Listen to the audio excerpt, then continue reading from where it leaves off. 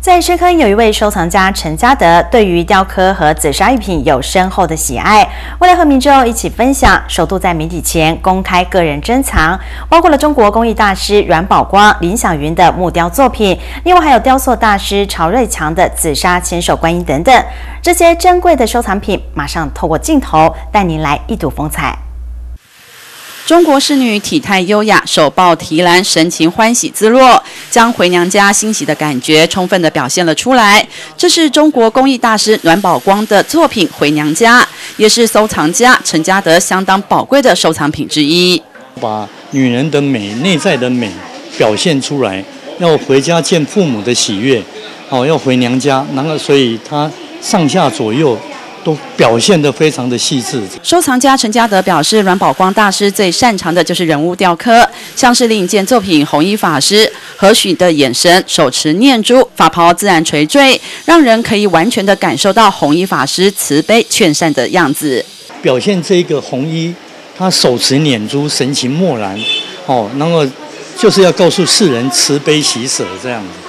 陈家德接触雕刻紫砂艺品收藏已经有三十年的时间，一直以来都很乐意与朋友分享。这次他首度在媒体前公开自己的珍贵收藏品，而除了暖宝光大师的创作，福州工艺大师林响云的熊刻作品，同样使人对于艺术展现为之赞叹。他这个熊的表现，他这只熊象征的是寒冬一霸，他刚吃完鱼，然后身体要甩水，所以。你可以仔细看到他这个地方有含水的纹，然后熊它要甩水的时候，它嘴巴会开开的，跟小狗一样这样子，所以这个东西它是活灵活现。不仅仅有雕刻艺品的收藏，其实陈家德对于紫砂的研究更是透彻与深入。由于紫砂从塑形到烧之后的收缩比大，大型的紫砂作品在创作的过程中非常容易失败。因此，像眼前所看到的这件雕塑大师曹瑞强的紫砂千手观音，可以说是相当难得一件。它要三分做，七分保养，而且它的收缩比很大。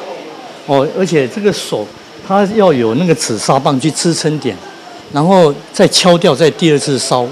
因为这个泥巴它